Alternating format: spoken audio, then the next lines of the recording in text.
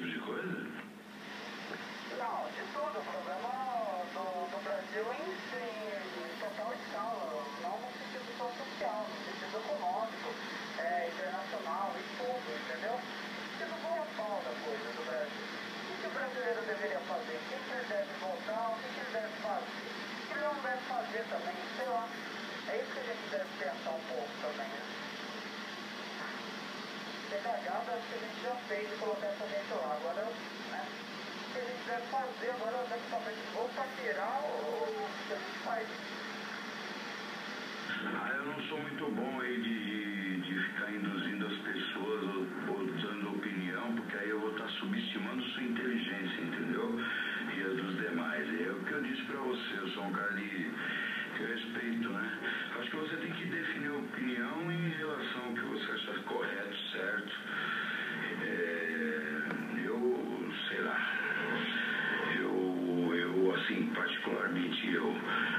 seguinte conclusão de que é, a maneira certa de você protestar sobre alguma coisa que você não está feliz é você não compactuar é, do prosseguimento da mesma porcaria. O que, que você faz? Eu vou fazer assim, não vou votar nada, é, no outro dia eu vou no cartório eleitoral, pago lá os 12 ou 20 ou 100 ou quanto for.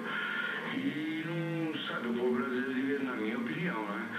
É, se bem que eu não quero agregar vou, é, partidários dessa opinião, mas eu, eu, eu particularmente vou fazer isso, entendeu, cara?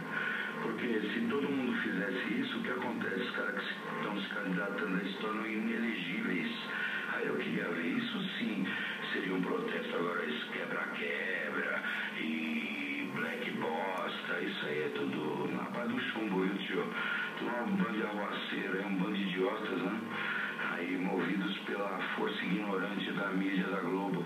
É o que eu penso, mas não sou dono da verdade. Fala aí, Rogério.